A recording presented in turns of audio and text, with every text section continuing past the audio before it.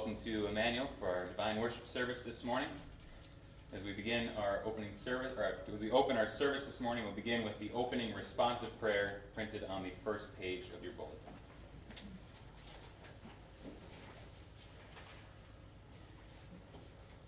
I will praise the Lord as long as I live. I will sing praises to my God while I have my being. I will greatly rejoice in the Lord. My soul shall exult in. For he has clothed me with the garments of salvation. He has covered me with the robe of righteousness. As a bridegroom decks himself like a priest with a beautiful headdress, and as a bride adorns herself with her jewels. Glory be to the Father, and to the Son, and to the Holy Spirit, as it was in the beginning, is now, and will be forever. Amen. I will praise the Lord as long as I live. I will sing praises to my God while I have my being. Amen. Join in our opening hymn, hymn 616, verses 1 through 4.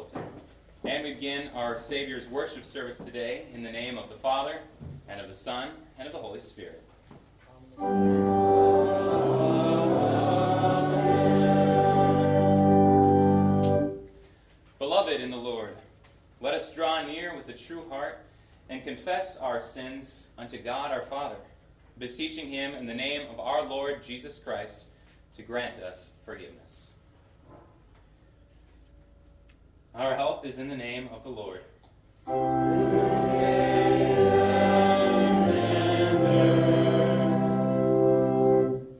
I said, I will confess my transgressions unto the Lord.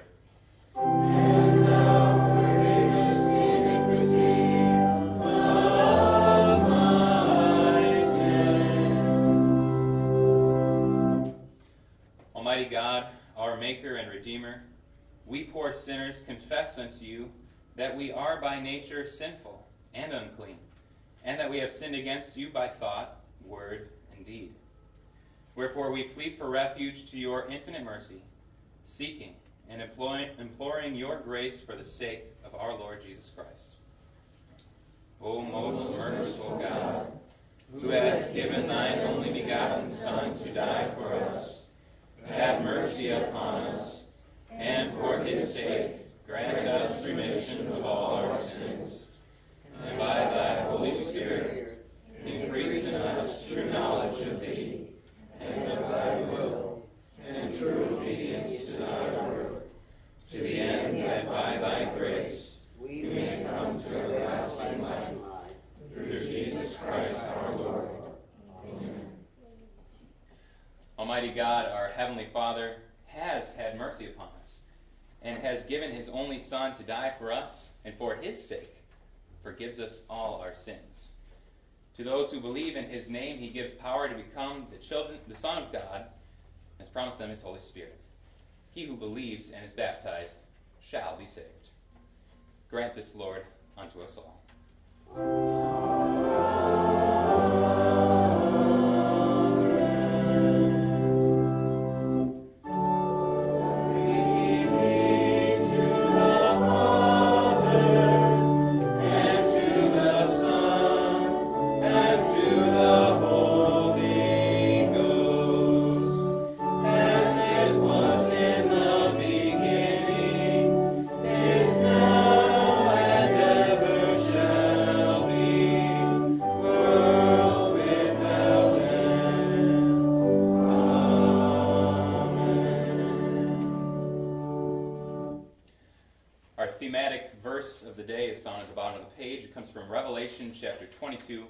17.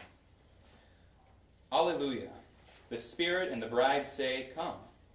Let the one who hears say, Come. Let the one who is thirsty come. Let the one who desires take the water of life without price. Alleluia.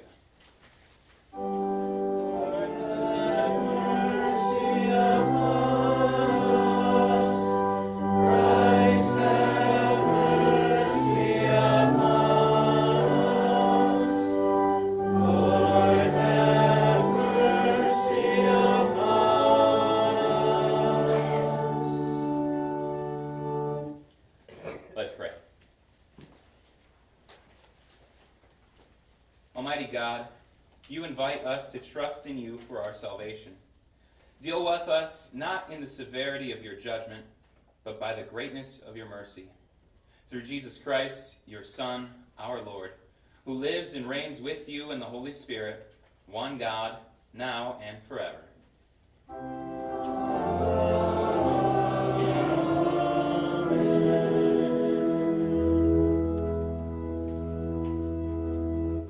You may be seated for the scripture readings.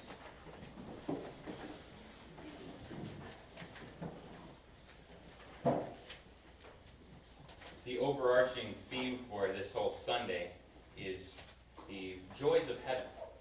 And the joys of heaven, which are often described as a feast, a free feast which God throws for each one of us.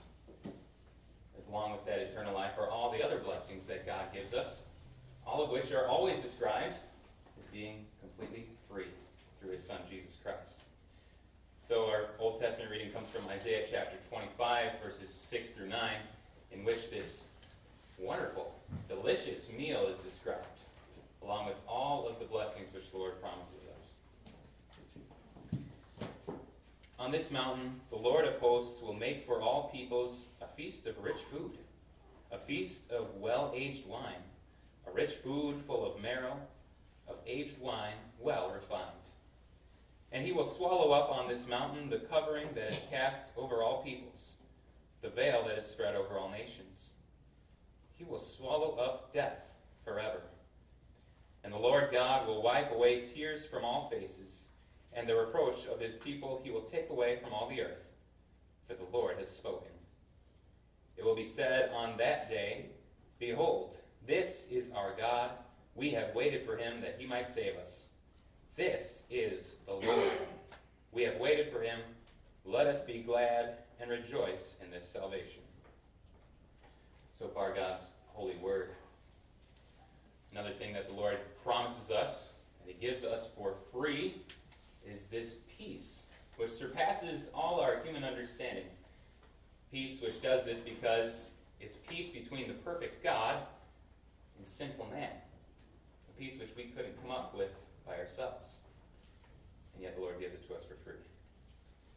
We read our epistle reading from Philippians chapter 4. Rejoice in the Lord always. Again, I will say, rejoice. Let your reasonableness be known to everyone. The Lord is at hand. Do not be anxious about anything, but in everything, by prayer and supplication with thanksgiving, let your requests be made known to God. And the peace of God, which surpasses all understanding, will guard your hearts and your minds in Christ Jesus. Finally, brothers, whatever is true, whatever is honorable, whatever is just, whatever is pure, whatever is lovely, whatever is commendable, if there is any excellence, if there is anything worthy of praise, think about these things.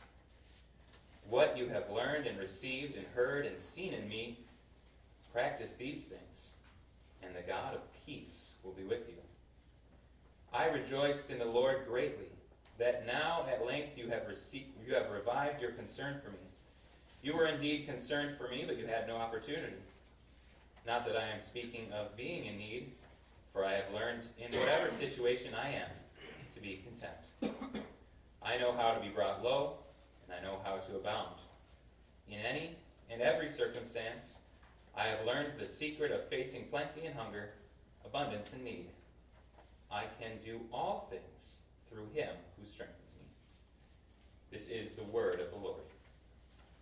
Please rise as we join in confessing our Christian faith according to the words of the Apostles' Creed.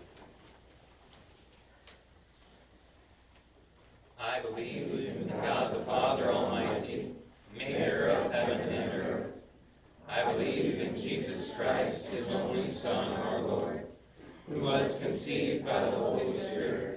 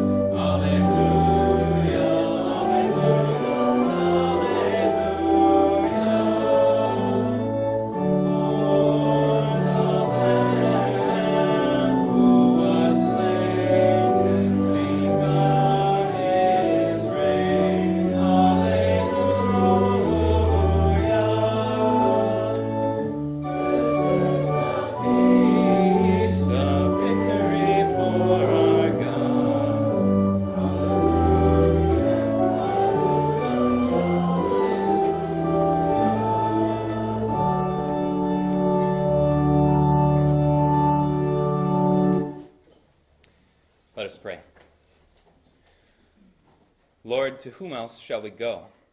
You alone have the words of eternal life. Amen. Text for our consideration this morning comes from Matthew chapter 22.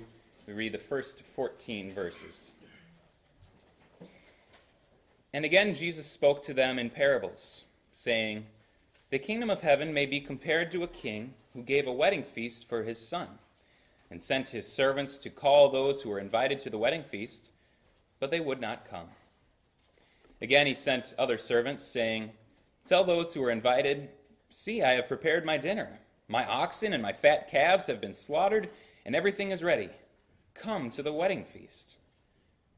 But they paid no attention and went off, one to his farm, another to his business, while the rest seized his servants, treated them shamefully, and killed them.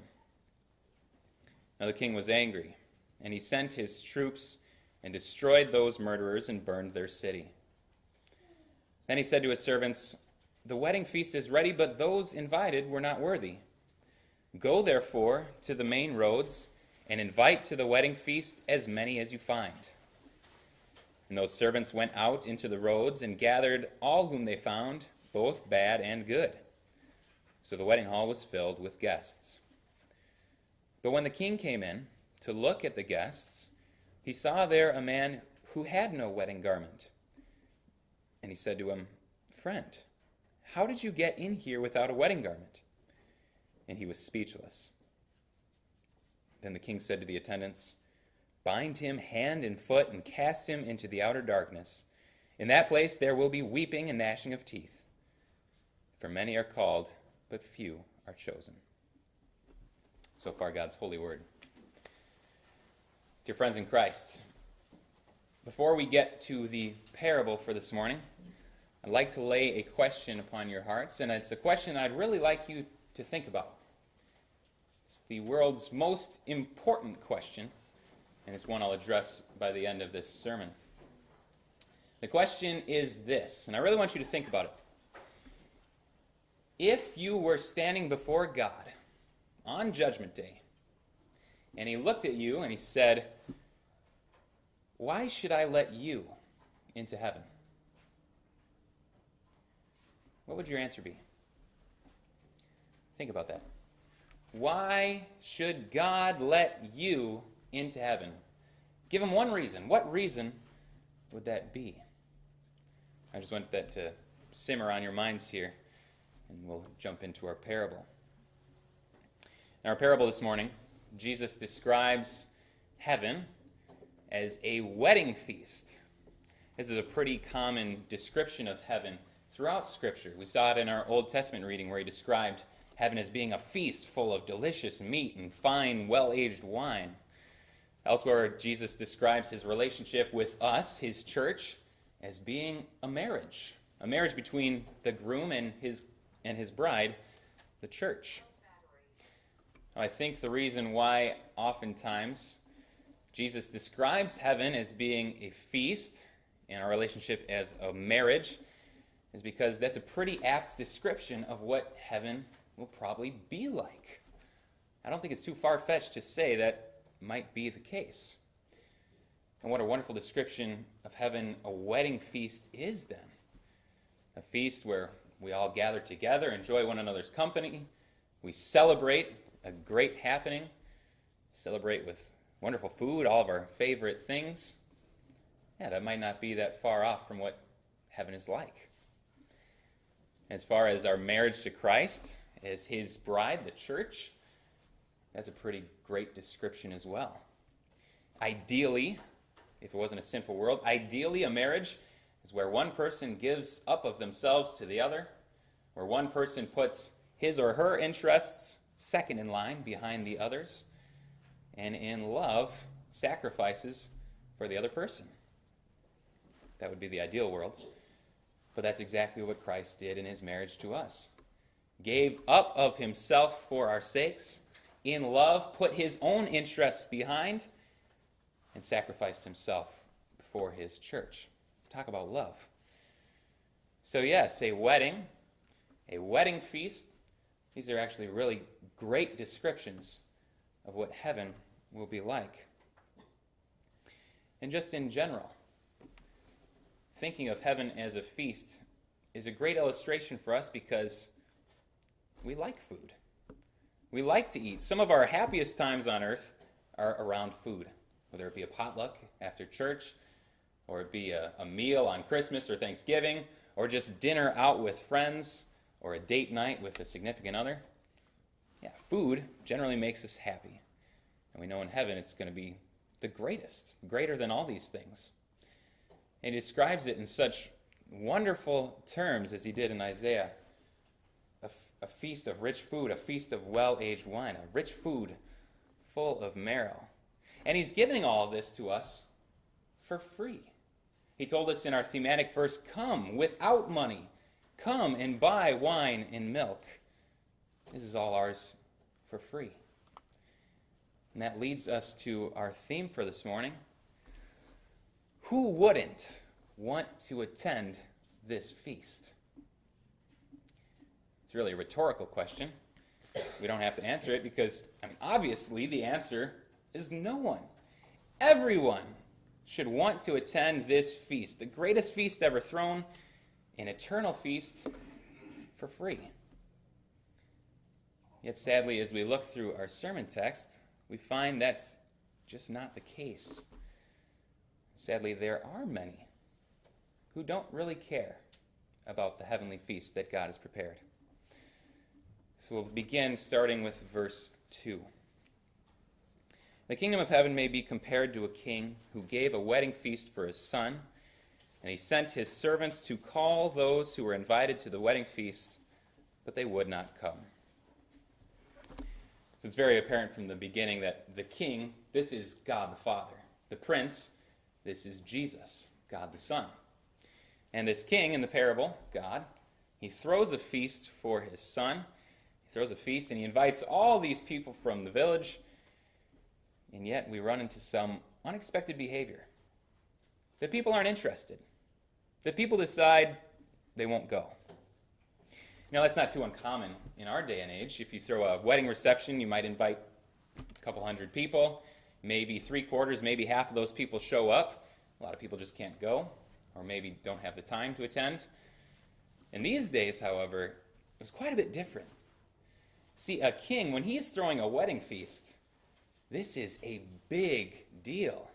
Wedding feasts in general at those times, they weren't just a couple hours at a reception hall and they were, they were full week long affairs with, with great food the entire week long. And you think about a king throwing one of these wedding feasts, talk about the best. A full week of the best food, the best wine, the best anything that money could buy. All provided for free by this king to his guests. This is really a, a who's who event. And yet, then, how strange it is that all these guests receive this invitation for this great feast, and they say, No, I'm okay. Who wouldn't want to go to that feast? Yet sadly, many did not want to go.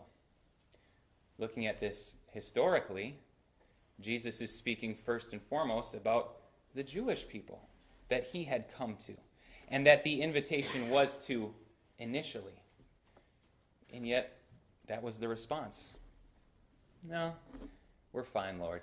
We don't need your heavenly feast. And then thinking about the work of the kingdom of God in our day and age, we see the same reaction time and time again.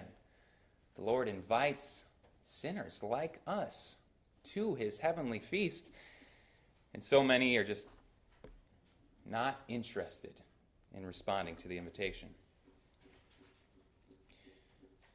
Picking up back at verse 4. Again, he sent other servants, saying, Tell those who are invited, See, I've prepared my dinner. My oxen and my fat calves have been slaughtered, and everything is ready. Come to the wedding feast. So we see the long suffering of this king. He's invited all these people, and they've all refused, every single one of them. But he doesn't stop there. He goes back. He re extends the invitation to them, hoping that they'll accept. In the same way, we see the Lord's gracious attitude towards sinners. How the Lord does not give up on people. The Lord continues to send his invitation out. Because God desires all men to be saved and to come to the knowledge of the truth, so he suffers long with people like us who are so stubborn and refusing to listen to his invitation. And he continues to go out and send that invitation to us. You see this gracious King, this gracious Lord, throwing this feast, giving us a second chance. Who wouldn't attend that feast? Again, we run into an unexpected answer. Verse 5 But they paid no attention and went off, one to his farm, another to his business, while the rest seized his servants, treated them shamefully, and killed them. Two pretty unbelievable responses to this invitation. In real life, this would never really happen. A king throws a feast, and, and people decide, no, I'd, I'd rather work hard on my farm all day than go to this, this week long feast. No, that wouldn't happen. Receiving the messengers who are carrying the guest invitation and taking them and killing them, no, that wouldn't really happen either. But these two dramatic responses show exactly the type of response that the Lord gets to the invitation of His Word today. Looking at the second one first, we see many people throughout the world who are physically angry when they hear God's Word, who throughout history have, have killed the messengers when they killed and martyred prophets and people who were sent. And still today, we see many people who become angry when we share God's word with them and will stop at nothing to try and find ways to persecute Christians. And that's one response to God's invitation. And thankfully, we don't find ourselves in that category. But what about the other one? The other response that's of people who go to their farm or to their business, paid no attention, and went off. That doesn't sound too different from us a lot of times. Every time the Lord comes to us in His Word, He's extending this invitation. He's saying, Come to my feast that I'm throwing for you for free. And how often do we see these opportunities to gather around His Word and we say, well, Lord, I'd, you know, I'd come to church today, but I'm awfully tired. I'd rather, I just need to get my rest today. And Lord, I know that we're gathering around your word this morning, but you know, football is only 16 weeks out of the year. I can't miss that. Or, Lord, I know I could be studying your word right now, but I really just need to relax. I need to go about my own business at this moment. Whatever the excuse is, we fit into this category the people who respond to God's invitation with just general disinterest. After all, we go to church on Sunday, the rest of the week, that's for us, isn't it? That's often how we think, at least in my case. And what is God's response? The king responds in verse 7 The king was angry, and he sent his troops and destroyed those murderers and burned their city. Is that an overreaction?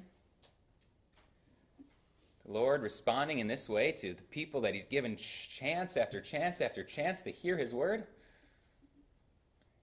I'm not sure it is an overreaction. Actually, that's exactly what each one of us deserve. So, who does He invite now? Starting in verse 8. Then the king said to his servants, The wedding feast is ready, but those invited were not worthy.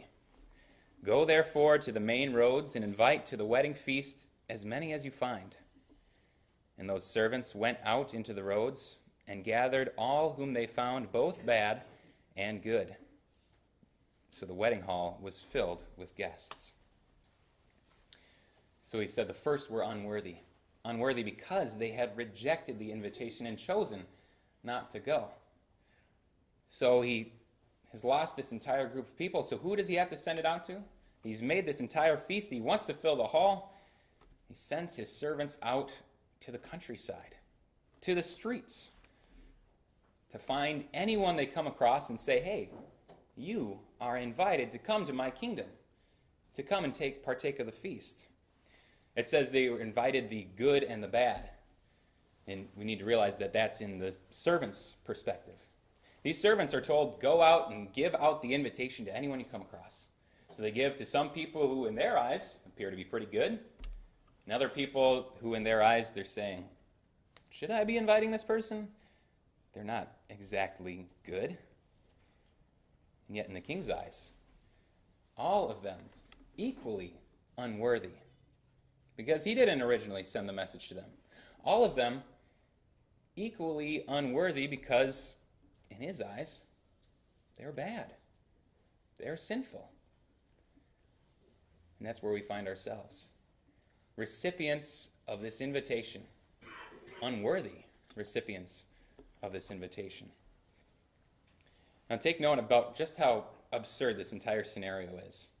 You have a king, he wants to fill his, his wedding hall with guests, so he sends it out to the streets to get the homeless people, um, poor people, tax collectors, prostitutes, every single type of person that you could possibly gather together and find on the streets and bring them together to fill his hall for his son, the prince. That just wouldn't really happen. If you've ever been married or had to plan a reception, you know just how hard it is to figure out the guest list. You pore over names for hours, you decide you have too many names, you need to cut some people, but you already have the amount of people that you want, the exact right list. So you have to make some hard cuts. There's never room for people you don't know or people that you aren't friends with. And yet, that's exactly who the king is inviting. This king goes out and finds all manner of people that are foreign to him, sinful people, the worst type of filth that no one would want in their homes, much less their wedding hall. And he invites them. That's exactly what the Lord does for each one of us. The worst type of filth. People who were born in sin and doomed to die. People who were enslaved to sin. Yet the Lord says, Invite them to my kingdom. Come to my wedding feast. And that would be a pretty good spot to stop the parable. The Lord inviting those who are unworthy like us into his wedding hall. But he goes on from there. It takes quite a turn here in verse 11. When the king came in to look at the guests, he saw there a man who had no wedding garment. And he said to him, Friend, how did you get in here without a wedding garment? And he was speechless. Then the king said to the attendants, Bind him hand and foot and cast him into outer darkness. In that place there will be weeping and gnashing of teeth. For many are called, but few are chosen. At first appearance, this is pretty shocking behavior on the part of this king. He sees a man who's come in there you know, from the streets, and he sees he's not wearing a suitable robe, and he binds him and throws him out. That's pretty cruel behavior. What if the man was poor and couldn't afford a wedding garment? What if the man didn't have any time and he had to come a long way, so he didn't have any time to change and he just came in the clothes he was wearing? And yet the master ties him up and throws him out? That might be the your first thought as you're reading this is how cruel this king can be. Except for your perspective will change when you know that in those days, the king, he's throwing the best feast for his people, for his son, and so he needed the people to be wearing the best. And what he would do, he was he would actually provide the garments for the people to wear. And you can see this obviously to be the case because he's invited all these manner of people from the streets and every single one of them wearing a wedding garment except for this one man. And when he accuses him of not having worn the garment that he was wearing, the man doesn't say, I'm too poor to afford one, or I couldn't go home to get it.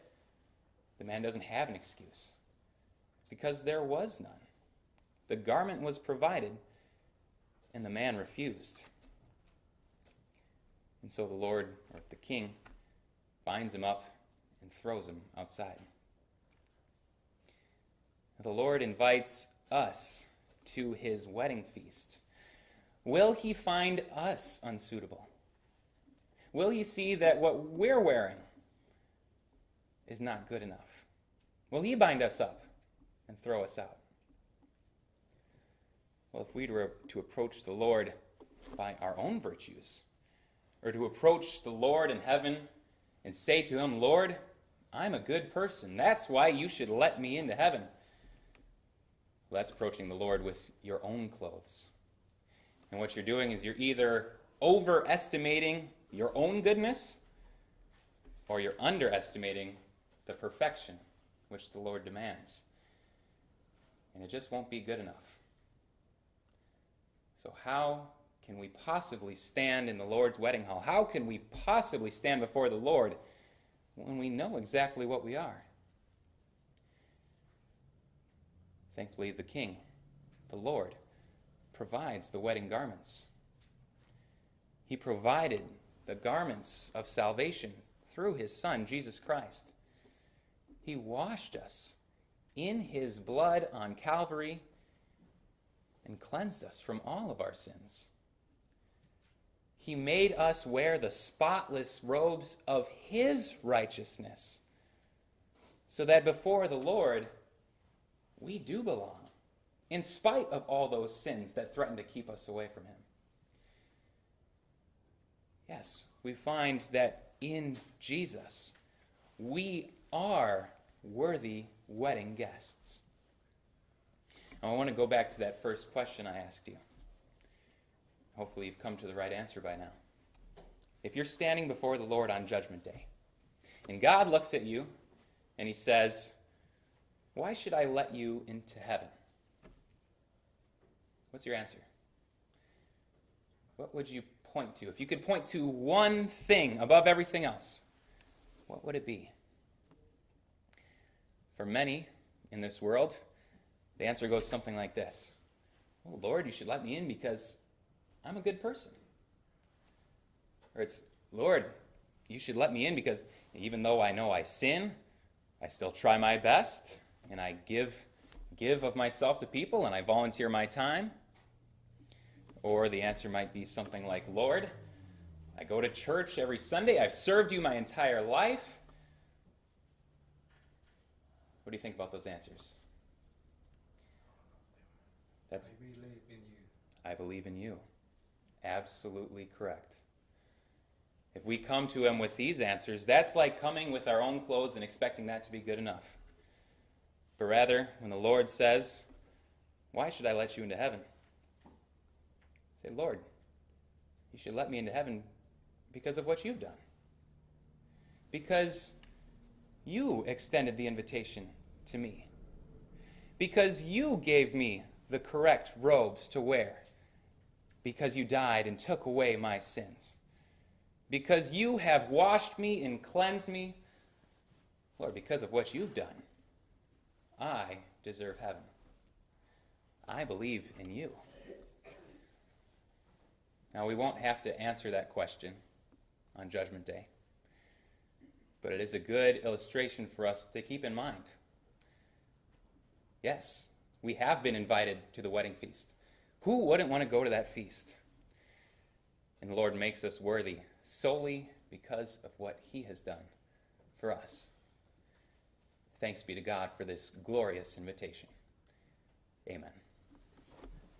Please rise. Now may the peace of God, which surpasses all our human understanding, guard and keep your hearts and minds through faith in Christ Jesus.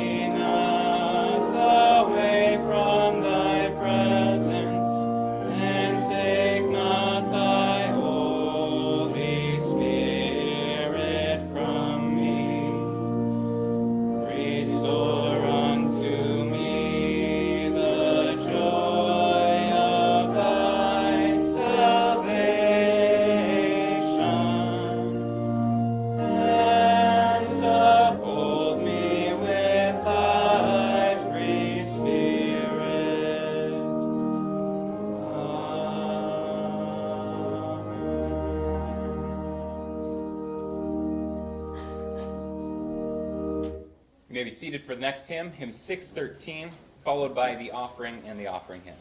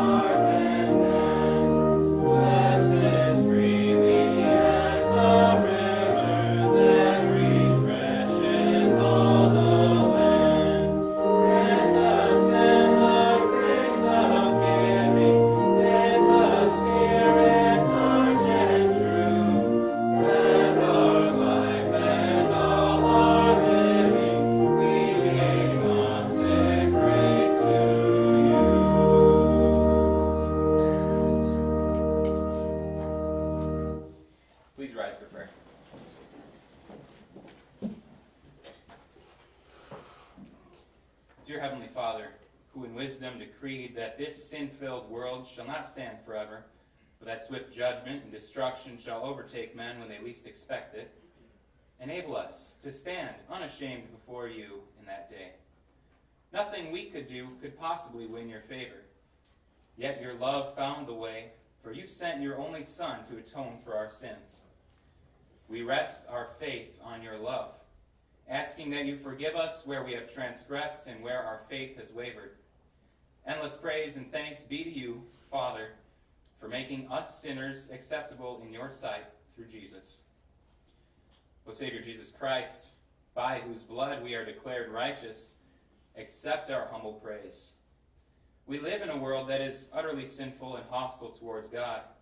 It is filled with temptations that, with alluring appeals to our base, sinful flesh, we are constantly beset by sin on every hand. Our comfort and hope is in your glorious return, when you shall bring to an end all things here and receive us into the joys of your eternal home. We pray that you would come quickly, according to your words and promise, and that in the time remaining you would help us to apply our hearts and minds continually to heavenly wisdom, to a devout and diligent study of your word. Keep us from backsliding Graciously preserve our first love from growing cold. Dwell in us through the Holy Spirit, that by his grace we might prove the sincerity of our faith and love with bountiful fruits of good works. And Holy Spirit, create in us humble hearts and lead us daily to repent of all our sins. Turn our thoughts continually from worldly matters to God and to his Son, Jesus Christ, who will come one day to take us to himself. Give us the strength to flee temptations and evil lusts. Lead our footsteps along the paths of righteousness, guided by the word. Fill our hearts with the love of Christ, so that we will in turn love each other. What great joy is ours as we look forward to the blessed day when our Savior and Lord will appear in glory to raise and judge the world. On that day, we shall finally be delivered from this vale of tears. May our joy never diminish and our faith never weaken. As the Spirit of truth and divine counselor whom Christ promised to his church, strengthen us during this time of watching and waiting. Praise and honor to you, Father, Son, and Holy Spirit, in whose name we also join together to pray. Our Father, who art in heaven, hallowed be thy name. Thy kingdom come. Thy will be done on earth as it is in heaven. Give us this day our daily bread, and forgive us our trespasses, as we forgive those who trespass against us. And lead us not into temptation, but deliver us from evil. For thine is the kingdom, and the power, and the glory, forever and ever. Amen. Receive with believing hearts the blessing of the Lord. The Lord bless you and keep you. The Lord make his face shine upon you and be gracious unto you. The Lord lift up his countenance upon you and give you his peace. Amen.